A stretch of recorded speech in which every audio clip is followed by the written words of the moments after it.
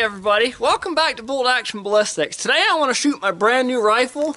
I just bought this. This is a CVA Hunter single shot break action in a 450 Bushmaster. You can see it's got a big old barrel on it.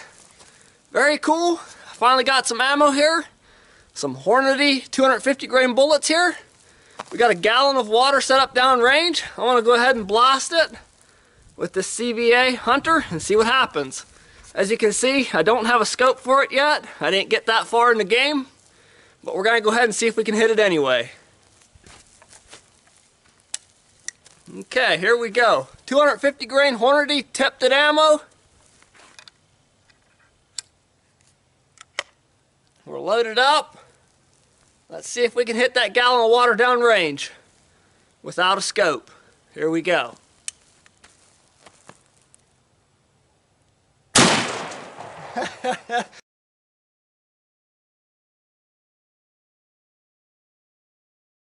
well, we got it all right. That was pretty awesome.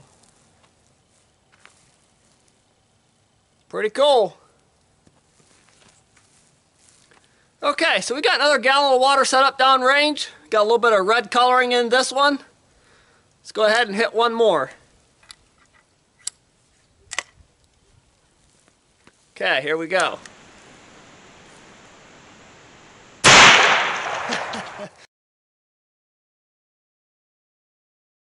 Wow, this is pretty awesome.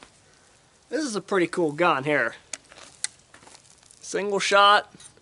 Got to pull it out by hand. Oh yeah, I really like this rifle. So yeah, CVA Hunter here. Pretty cool. It looked like it was a pretty heavy hitting gun.